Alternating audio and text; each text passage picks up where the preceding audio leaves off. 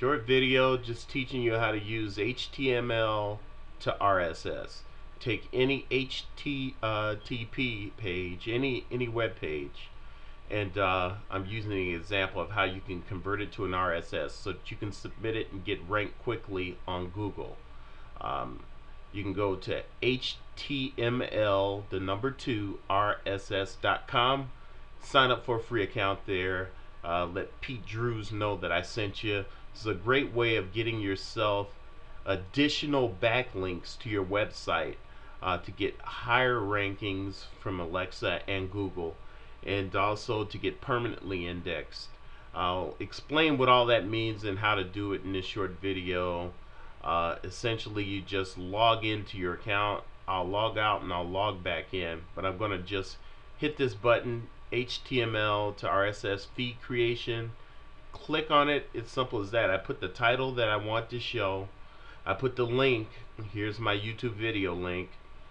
Uh, I, I usually skip this total link to create optional whatever.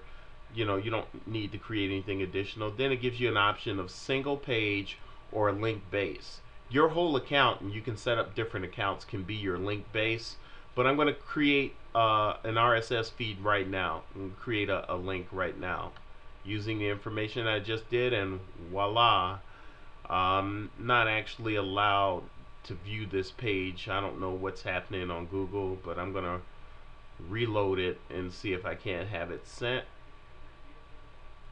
Says allow for Firefox and I have two of my RSS feeds. What I want to do is right quick copy that link location and I usually go to like twitterfeed.com and I enter that link into my Twitter feed account.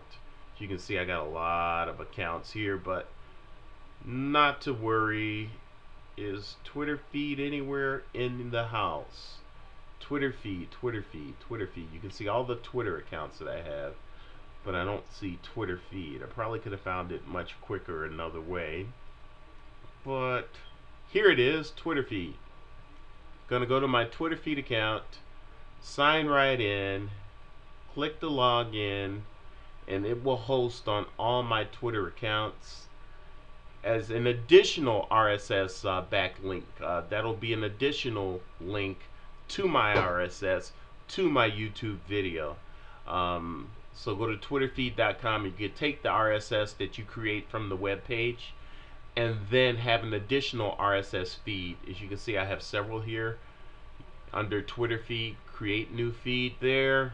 Simply insert the US URL and I'll give it a name and I usually title it video marketing and I'm gonna call it free video marketing test the feed to make sure that it works. Once that feed has been tested there should be a notice that I get.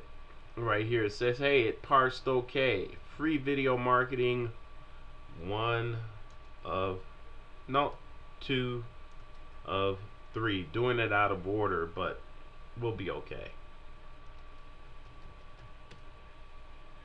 And simply go to the next step to save it. Under Twitter feed, you guys can probably hear I'm coming down with a code. It's telling me it's successfully done.